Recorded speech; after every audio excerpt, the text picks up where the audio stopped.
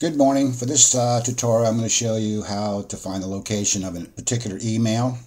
And by some reason, if your email, if your own personal email has been tagged or has been bounce, bouncing, meaning that it's been blacklisted, to show you what steps to do to correct that.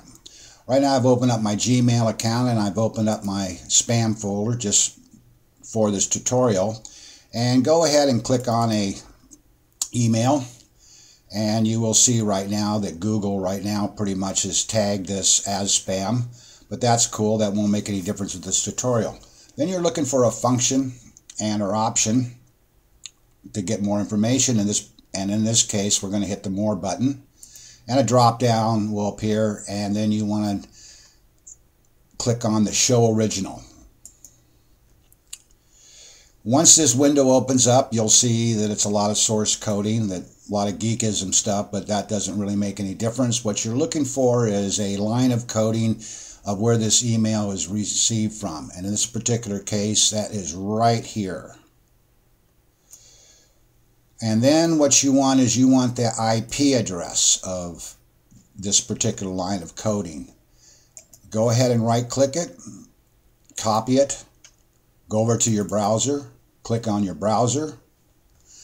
And once your browser opens up, go ahead and click an IP locator or location. And as you can see, Google has pretty much got a lot of websites on this particular subject. I like this address right here, this website. What is my IP address? Go ahead and click on that.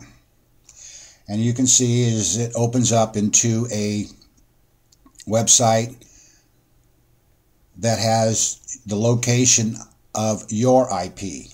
So right now, this number right here is where I'm at right now. But go ahead and highlight that. Go ahead and paste the IP address in there and then look up the address. And this window will open up and you will see that there's a lot of useful information on here of where the sender of that particular email is located. As you scroll down, you'll see a cute little map here. And you can go ahead and play with that map a little bit. And it'll give you a location of the sender of that email.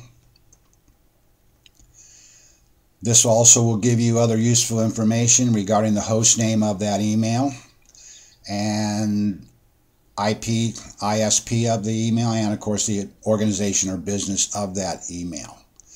Now, if your email has been blocked, this will go ahead and enter your IP address in here and go down and have click the blacklist. And this will show you whether or not what company or spam police have tagged it as being blacklisted and the reason why your email is block is being blocked. Obviously, if you see this little question mark right there, then you know that your email is a little bit of trouble. So for tutorial, for tutorial purposes, we will go ahead and let's say it's right here.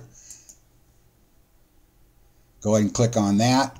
And as you're scrolling down,